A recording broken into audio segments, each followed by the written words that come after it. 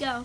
Hi, today we're talking about Sugar is so good, yummy, yummy. Hell yeah. Sugar is a compound made of hydrogen, carbon, and oxygen. Sugar makes me happy and awake when I'm tired. Um,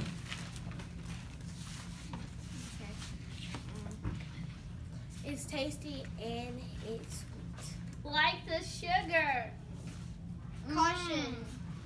intake of sugar can make you one fat, two get diabetes, and three not feel very good. Okay. Sugar has carbon, which is in the top right of the periodic table. Okay. And then hydrogen is in the top left, and carbon and oxygen is also in the top right. Sugar. Oh yeah.